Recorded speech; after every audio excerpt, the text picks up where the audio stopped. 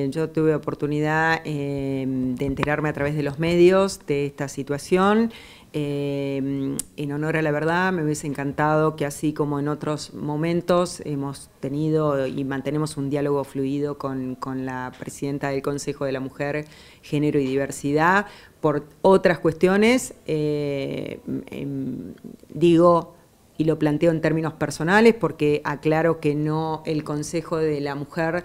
eh, género y Diversidad tiene autonomía de funcionamiento y no depende de la Secretaría de Gobierno. Esta partida está en la Secretaría de Desarrollo Social, yo lo hablé con la Secretaría de Desarrollo Social, quien me advierte que evidentemente ha sido un error administrativo. Eh, nosotros eh, como municipio y como gestión eh, se ha creado una, dirección de género y diversidad eh, que tiene una gran imputación presupuestaria y más de 7 millones para, para, los programas que desarrolla el área, con lo cual es un aspecto que desde esta gestión se atiende. Eh, y teniendo en cuenta que el Consejo de la Mujer es un consejo que es preexistente, que está desde el año 2006, creado por ordenanza, y, cuyo funcionamiento es de, asesoramiento y mm, al Ejecutivo Municipal, eh, no está en, nuestra intención generar un menoscabo a, a, ese sector. El presupuesto aún no se aprobó en el Consejo Deliberante, es un error que es subsanable tampoco es que desapareció la partida, como en algunos casos y en otras situaciones a veces ha sucedido, cuya partida no está y sí genera una complejidad mayor porque después implica una modificación al presupuesto. El presupuesto está bajo análisis en la órbita del Consejo Deliberante y es algo que se lo puede subsanar.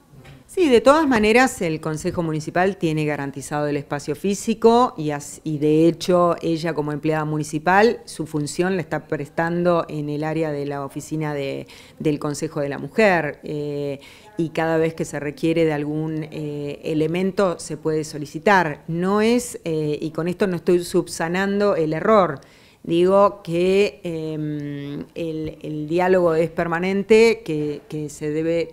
eh, bregar porque esto sea de esta manera y no eh, enterarnos a través de un medio. Hoy esto ocurrió de esta manera, eh, digo, y yo lo hablo en términos personales porque así como en el mes de enero se comunicó oportunamente por algún torneo que se hacía por el Día de la Mujer para la colaboración con premios y trofeos y se colaboró efectivamente, o allá por junio cuando manifestó y se comunicó conmigo para, eh, para porque se había inundado la oficina en la que está hoy instalada la el Consejo Municipal. Hubiese sido bueno tener una advertencia en este sentido, no la tuvimos. Eh, nosotros podríamos haber enviado esta nota al Consejo Deliberante. Eh, hablarlo con, la Secretaría de Hacienda para que esto, para que sea ella quien pida que se subsane este error. No ocurrió de esta manera, eh, pero bueno,